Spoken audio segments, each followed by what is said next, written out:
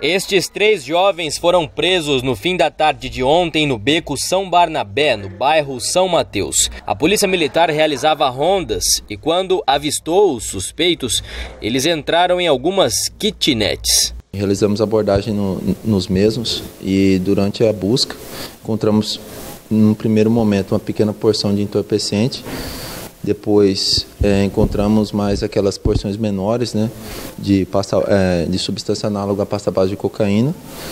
E posteriormente encontramos aquela porção um pouco maior de maconha e esses 633 reais em, em dinheiro trocado.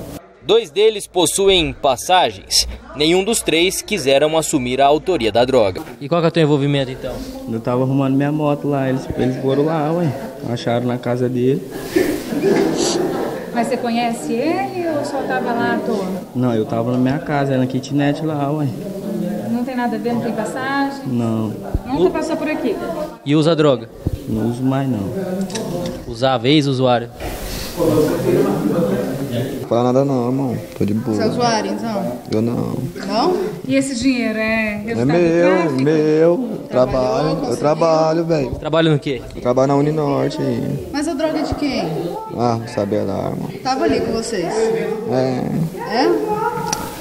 Quer dizer nada não. Celulares. Ah, o celular é meu. Já para a polícia, eles disseram que estavam apenas consertando uma motocicleta e que não possuem envolvimento com o tráfico e que o dinheiro seria fruto do trabalho de um deles em uma empresa. A princípio, vamos encaminhar esses indícios que a gente tem de materialidade desse, desse, vamos dizer assim, desse tráfico de entorpecentes, entre aspas, e vamos ver o que a autoridade policial pode reunir no, no inquérito para estar tá imputando a eles aí a respectiva culpabilidade de cada um. Essa droga estava onde? Então, é, parte do entorpecente, o entorpecente menor e a caixa de fósforo estava numa é, é um local onde é uma kitnet. Essa o, a maconha menor e as petecas de pasta base estavam numa kitnet à esquerda e o, o restante do entorpecente, o dinheiro estava numa kitnet aos fundos. Aí cada um, um, um cada um deles é, mora em uma delas, né?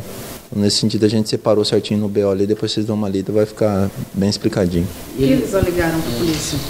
A princípio, falam que haviam encostado no local só para fazer uma. uma dar, dar uma.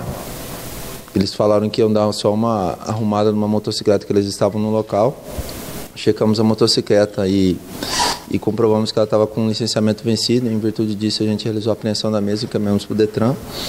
E durante essa busca, a gente acabou encontrando entorpecente, eles falam que é apenas para uso, mas a gente não, não tem como aferir isso aí, então a gente encaminha para a autoridade policial. O rapaz aqui disse que é o salário dele que ele recebeu, né? Então, é, isso aí cabe a ele estar tá provando, né? Se realmente é, ele recebeu esse dinheiro em virtude do salário, né? até mesmo porque a gente não consegue ver toda vez a gente vê esse pessoal sempre parado por lá, não vê trabalhando, então como que tem tudo esse dinheiro, né? Tem droga pelo local.